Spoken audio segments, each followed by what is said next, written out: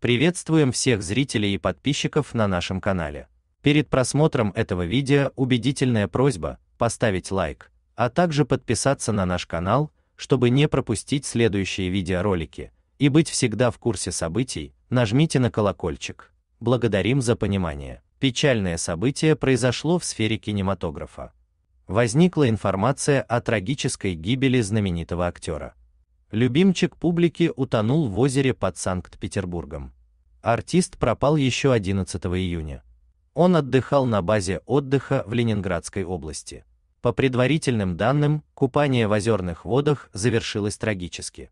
14 июня работник курортного объекта обнаружил в воде тело человека. На место ЧП экстренно прибыли сотрудники профильной службы. Полицейские вытащили тело из воды и отправили его судмедэкспертам. Сообщается, что на руке была синяя повязка. Мужчина был без одежды. Точные причины смерти выясняют эксперты. Полюбившегося россиянам артиста не стало на 47-м году жизни.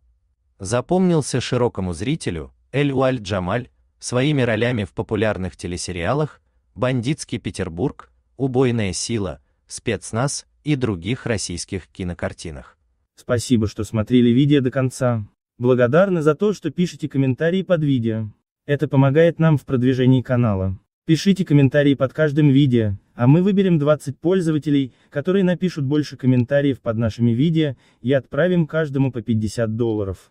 Нужно обязательно быть подписчиком нашего канала, и поставить лайк на последние 5 видео. Берегите себя и своих близких. Будем благодарны за лайк и подписку на канал.